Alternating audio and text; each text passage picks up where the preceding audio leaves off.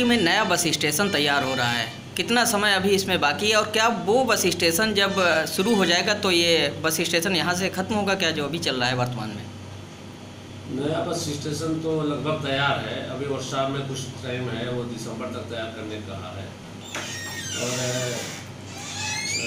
नए बस बस अड्डे पर तैयार हो जाने से हम वहाँ लॉन्ग रूट चलाएँगे वहाँ से। और लोकल पैसेंजर हमारे सब यहाँ शहर में आते हैं।